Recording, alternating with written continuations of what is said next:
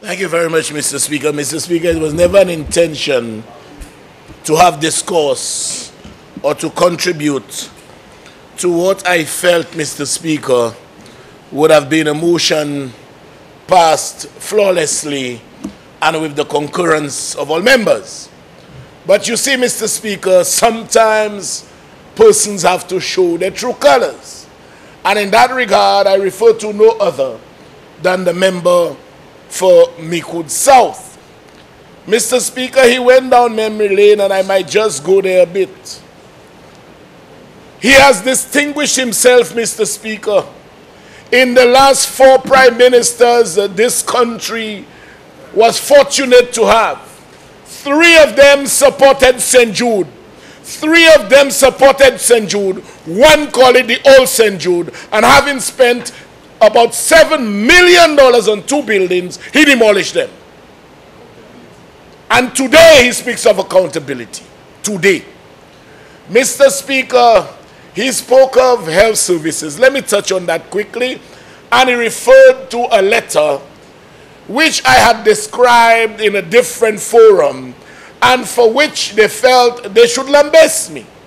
But as I always say, Mr. Speaker, once you jump in the political arena, your back must be broadened and you must be prepared to take the blows. But refutal is mandatory. Mr. Speaker, as far as health is concerned, the member for Micoud South told two categorical lies, or untruths, if you want to call lie unparliamentary. Both the La Clery and Entrepot health centers are operational. Both of them are operational. He indicated earlier that none of the health centers in the Castries basins are working. So that is lie number one. Mama, I said, listen. Um, mampu miku south diko satale ala. Pani yon health center Castries kika, kika ki ka travay.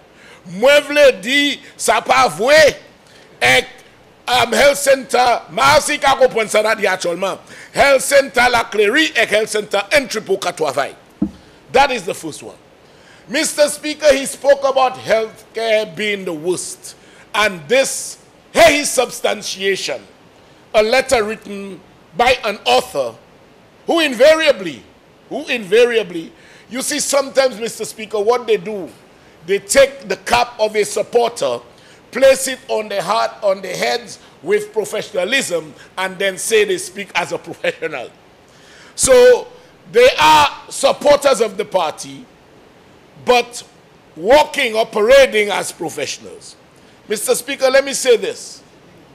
Oh, yes, he did. And he, I'm entering, I'm entering. Let me say this. And the records are clear, Mr. Speaker, because I remembered it. I went to do my research.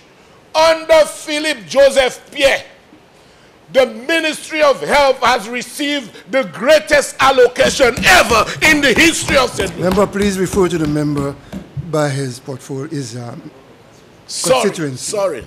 My bad, Mr. Speaker.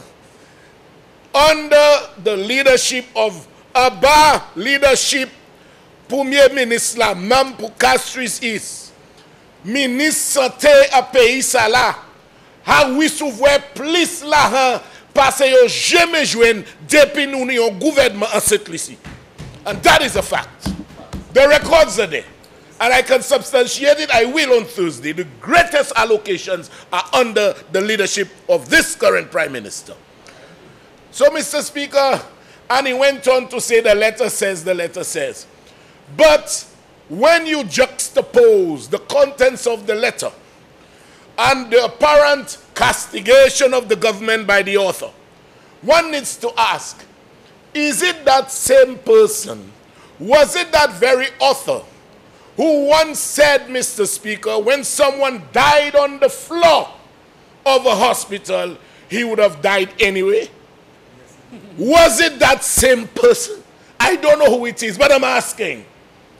And was it this member for Micoud South who had gone to England and indicated to the people of England that he's trying his best for healthcare, but the person died? I don't know if it's good, I don't know if it's bad, but the person died. And then he was he asked them, Am I being arrogant? And they responded unequivocally, Yes, you are being arrogant.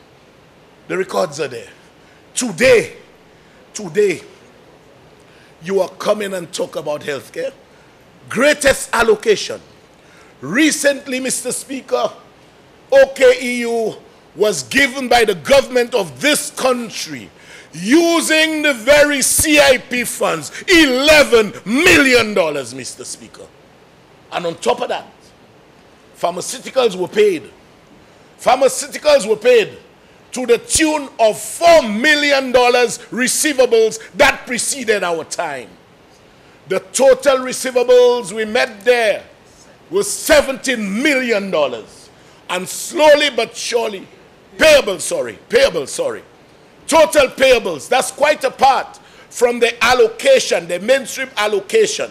The Prime Minister gave them $11 million and created a significant indentation in the payables of 4 out of $17 million. All of this was inherited from the last administration. You see, Mr. Speaker, we were moving from, Oak, from Victoria to OKEU, and we had St. Lucians who were going to cause us to move for next to nothing. But we imported a group of people called the Cayman Group. And we were paying them, Mr. Speaker, in excess of a million dollars a month. They enjoyed a two year contract for a sum of $25 million. That 20, and we as a government when we came in, we had to come to this honorable house to borrow money to pay debts incurred by the last administration because of the egregious deeds. And you have the audacity, the gall, the gunner to open your mouth and talk about healthcare, man. Huh? Talk about healthcare. You know, if was a, a, a disease that could have been visible, Mr. Speaker, it would have been visible as it relates to the leader of the opposition. Mr. Speaker, man talks about no ideas, We're wasting money, there is no accountability. I cannot believe it is this leader of the opposition. We had a mall, Mr. Speaker, valued at $60 million, and I know I need not make it a document of the House. I've done so several times. It was valued at $60 million. You sold it for 13 and a half million. And apart from Member from Eco South. Yeah, Mr. Speaker, you know, we've been down this road before. The member is misleading the House, Mr. Speaker. Ah. okay? The mall was valued at 60 Member million. cast your seat. Can you take your seat? We sold the ground floor for $30 million, Mr. Speaker. We still own the upstairs part, and we did it through a bolt arrangement, Mr. Speaker. So again, this is a matter of, of a court case. This is a matter of, of that's still pending in court, and a parliamentary issue in which I was asked to apologize. And the facts speak for themselves. All the facts show that the ground floor was sold for $30 million, Mr. Speaker, okay, and the upstairs part was retained. Mr. Speaker. Sorry, the downstairs was sold for $15 million, Mr. Speaker. Half of the amount, Mr. Speaker. Member Castries Central, please proceed. Yes, I will. Because, Mr. Speaker, time and time again, I've provided this honorable house with documentary evidence of my assertions. I've shown the deed of sale. I've made it a document of this house on several occasions, and I'm sure Mr. Speaker is seized of the document. There is a deed of sale, Mr. Speaker. I'll tell you what there is next. I'll tell you what there is. Talking about we sold ground floor. I'll tell you what there is, Mr. Speaker. Having sold the property, valued at $60 million for 5 million US. Okay? Having sold it, he tied us to an agreement for 16 and a half years. He tied us to an agreement of 16 and a half years in which we pay about. Now I say about, Mr. Speaker, because it may fluctuate. Imagine in the lease agreement, there are charges that fluctuate based on what is paid at the time in terms of electricity and other utilities.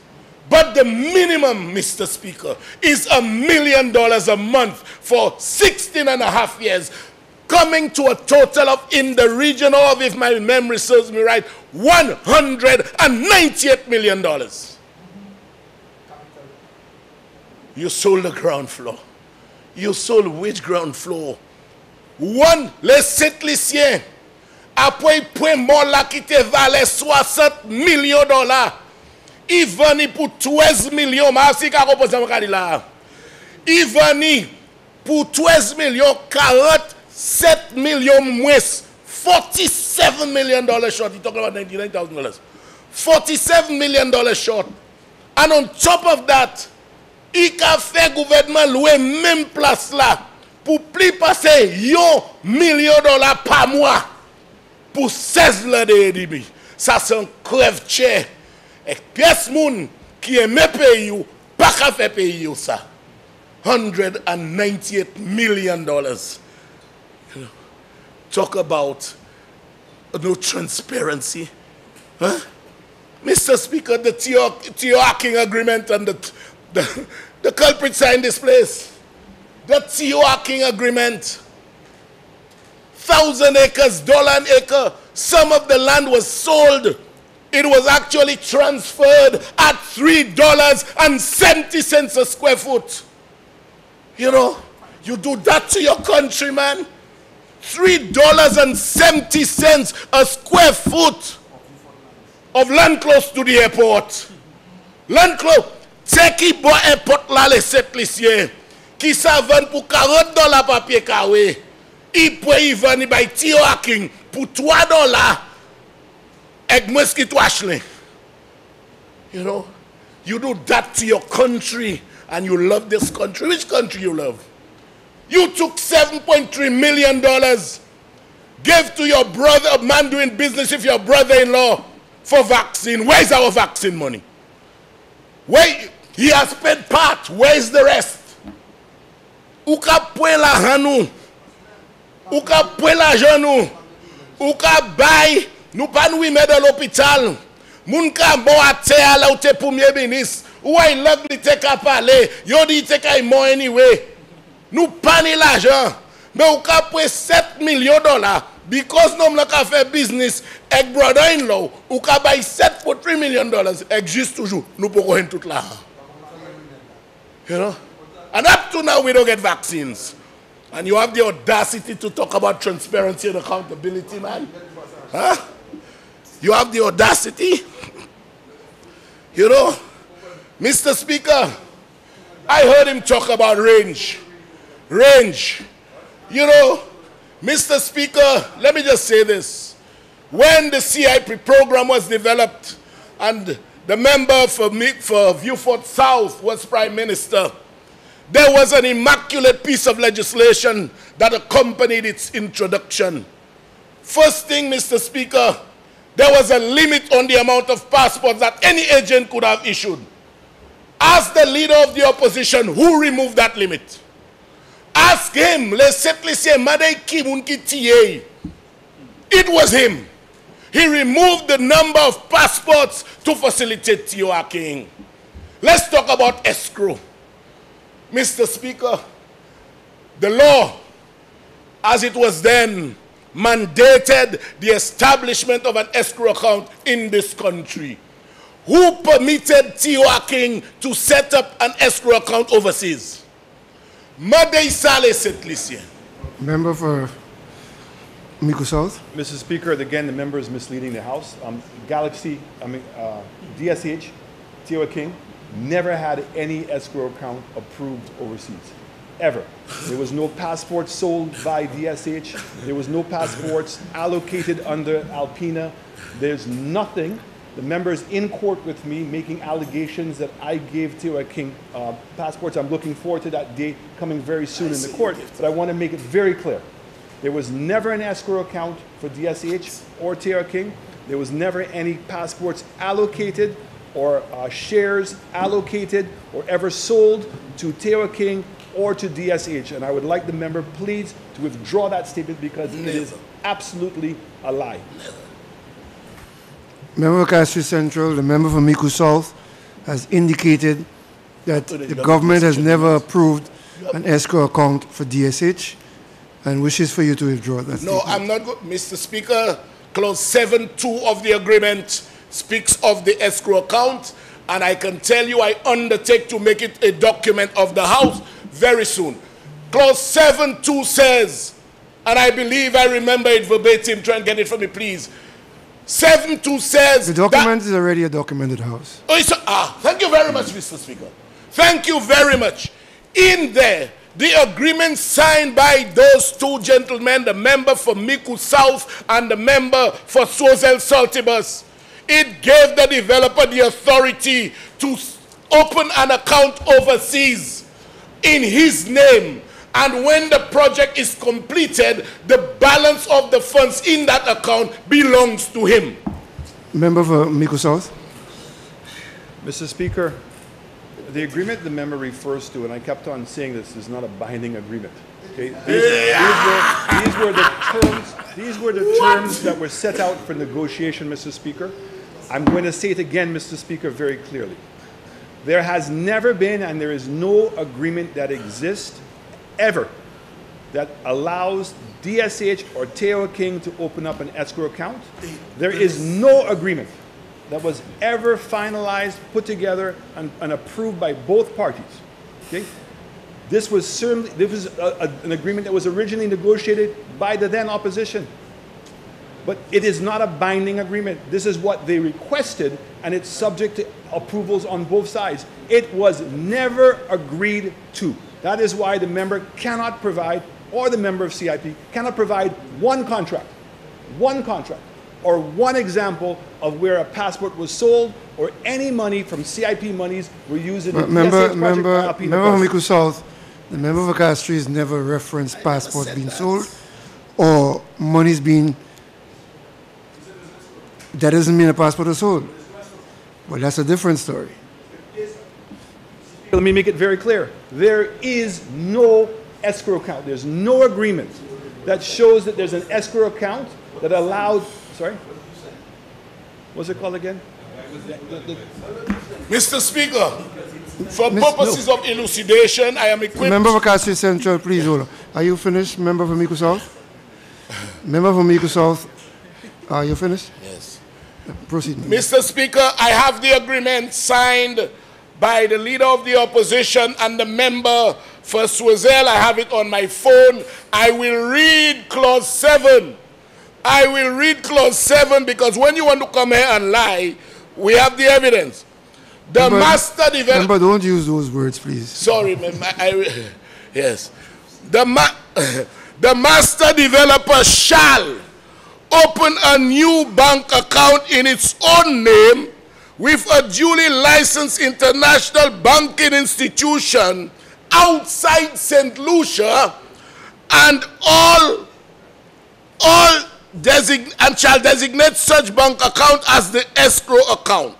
The monies received for investment in the project of CIP participants shall be deposited into this account and used in accordance with clause 7.2.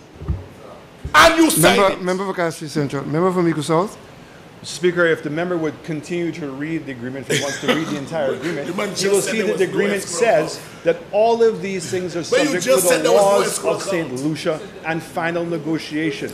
Those are things that are put You down as terms and requests that they wanted, but they have to be approved individually, Mr. Speaker. So you can, you can read whatever you want. None of those, he cannot provide any evidence. They're in government for three and a half years, Mr. Speaker.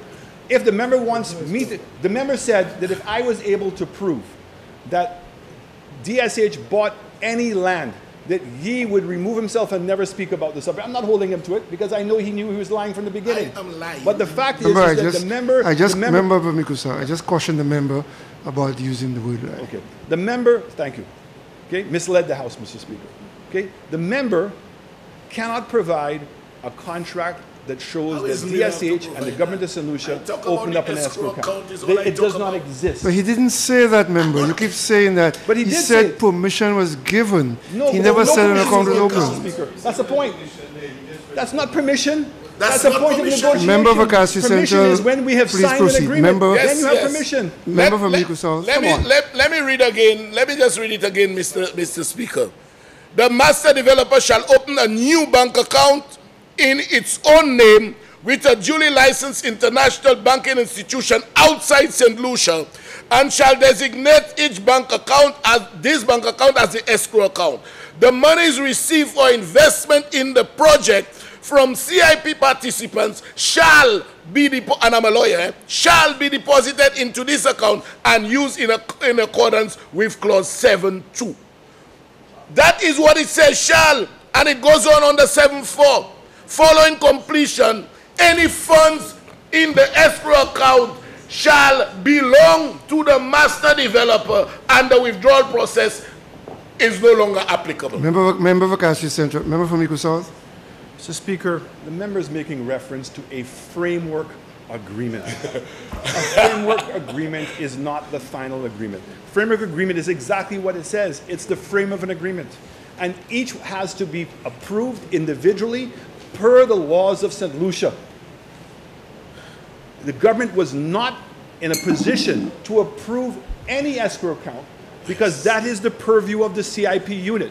They had not even applied to the CIP unit. They would have to apply to the CM. You know, Mr. Speaker, we go through this exact same thing when we talk about uh, planning approval. Cabinet does not have the authority to give any developer planning approval. Cabinet, not Cabinet true. does not have the That's authority to give people alien landlords licenses. That's- okay? They have to go through a process of Mr. Speaker, application, can I Mr. proceed, Speaker. please? Okay? Can I proceed? So you're saying to me that the cabinet has the authority to have Can I given somebody an escrow account? Come on. guys. Miss, This is Mr. a framework Speaker, agreement. all, all and I this- and- said, And, again, if the member wants, if the member wants me to back down on this statement, provide to this house, as he has promised, the agreement between DSH or by Alpina for an escrow account. Alpina. And then I will be quiet and show where there was any money transferred. in. He's in government. He has access to everything. what are you talking about? Because there is none. Oh, that was in a framework agreement, President, and it was no never, comment. never, never manifested into a contract. No account open. Mr. Speaker, But member of Akasi, hold on. The debate on this matter of permission to open an escrow account is over. very well. On the basis of what you have said and what you have read, Yes. there is nothing inconsistent between the two. Very Please well. proceed. And I have the last page just to top it off, Mr. Speaker, bearing the signature of the leader of the opposition and the member for Choiseul Saltibus. Very well. So, yes, Mr. Speaker. You know, then let's move on. Let's move on, Mr. Speaker. To facilitate this deal, they bought incinerators. $11 million. How much? 11 million on incinerators that never worked. Never worked. On top of that, they built a bypass road to facilitate this again for $15 million, Mr. Speaker. 15 million. Pomandu. How much we gave Pomandu again? 13 million. 13 million, Mr. Speaker. Ernst and Young, our people have been accustomed from time immemorial. We have never had a prime minister who sought outside assistance to prepare our budgetary estimates. Never until this leader of the opposition stepped in and having given Ernst Young, he said it was 1%. I rather said, it, I rather believe it was more. You know, paid Ernst Young millions of dollars, and after he, he realized that he was denting the coffers of this country, and whereas we have the in-house ability, he stopped it. And today has the audacity, the gonad to talk about accountability. Mr. Speaker, today I was happy to see persons, persons, were um, exercising the constitutional right of freedom of association, a right enshrined in the Constitution, and as a lawyer, I support it. But I'll tell you what, I will not quarrel only with the 17 that were dressed in flabo or the other 20 that were dressed. They don't want to be seen to be identified in flabo. But, you know, Mr. Speaker, at the core of this is a government that will not stop anyone from exercising their constitutional rights. You remember what happened when the leader of the opposition was prime minister for over five years? Never could the average citizen of this country come so close to parliament. You all remember that? You all remember that? Member for Choiseul, not even you they could come and touch. You, you were barricaded. Isn't that true? Isn't that true? Today, the speaker and other members of government said we are not doing that to our people. We are not doing that to our people. Give them the right to associate and so remove the barriers. And over three years, you have not seen one barrier to prevent an average solution from coming to see the persons they elected, Mr. Speaker. And then you're talking about, Mr. Speaker, you know, we are dealing with the National Trust.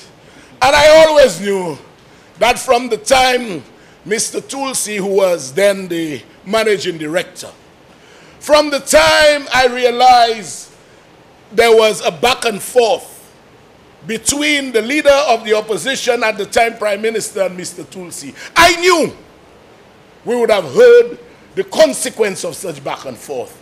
And so, Mr. Speaker, he used the mighty sword and he stopped the subvention. And that's the first time in the history of this country again. The National Trust was, no, he didn't, yeah, he withheld it. you know, the National Trust was formed by Sir John George Melvin Compton, who was then Prime Minister. Notwithstanding, he now heads the party that this icon, Julian Hunt, okay, good. I, I, I stand corrected.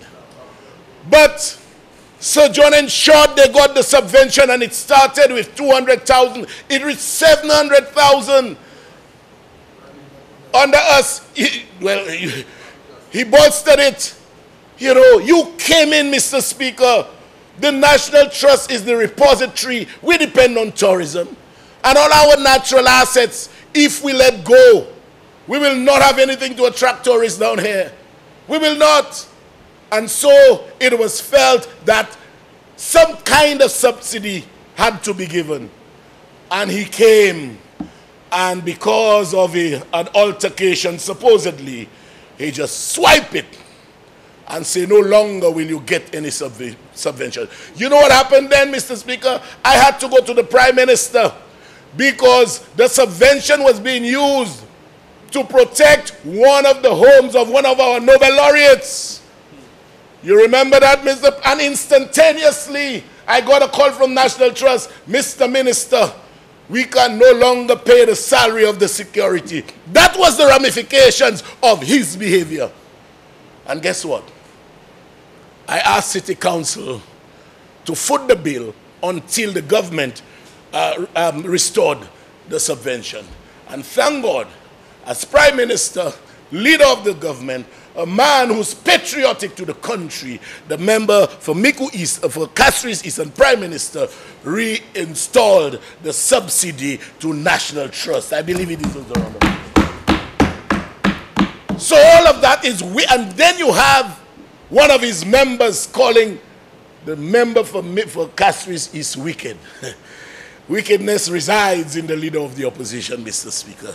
So when you talk all the nonsense. And you know, the audacity, the gall, the gall of this man, the daughter of a man who was an icon, the founder of the party you now leads, was supposed to get a job, but for approval by the prime minister. And guess what? Guess what? He did not approve it. She don't like my party. You come and meet the people thing here. Ula Javini, she like my party. You have party? Where you have party? You get the people thing there. She don't like my party. So you didn't approve it. And then call people wicked man. You know, I can go on and on, Mr. Speaker, but I have to leave. I have to leave. And I can tell you, Mr. Speaker, when you have a man who has lost his way. And all they do is they preach violence.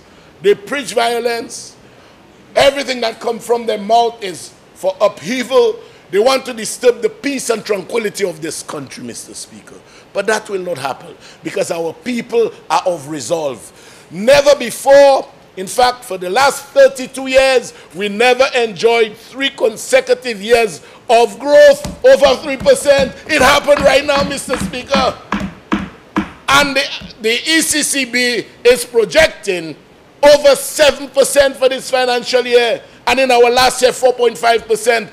That would mean, in the history of this country, the only time for five consecutive years in any government administration that there would have been growth in the economy of 3.4% and more consecutively for five years. The greatest growth they achieved was 3.4%, which is the worst that this government has achieved. So, Mr. Speaker, with these few words, les autant moun ka pali, le autant leader of opposition na ka dou, set lisye di, set lisye dat, set lisye pavle di, set lisye, li yon ki ka pali. E ki ka pali bay koy, e ki bay do twa moun, ki man konet manye pou fe de zon. But majorite set lisye, majorite set lisye, satisfè ek gouvedman, satisfè ek sa gouvedman ka fe, ek yon ka soti, You ka senti a koyo that yon yon relief a peyi ya. Ek relief sa pa ka li piyes kote because ma hav kita, le poumye minister kou ye eleksyon, yo ka yon yon chans pou matche nou ek mwen sav a tout 17 constituency. Mwen ka di swaze nou kavine. Mwen ka di mi kou sav nou kavine. Because a tout 17 constituency kanot sa akantwe ek kakite ek o pasaje. tous les décès. C'est ça nous comprenons. Mr. Speaker, with those few words, I thank you. I lose it.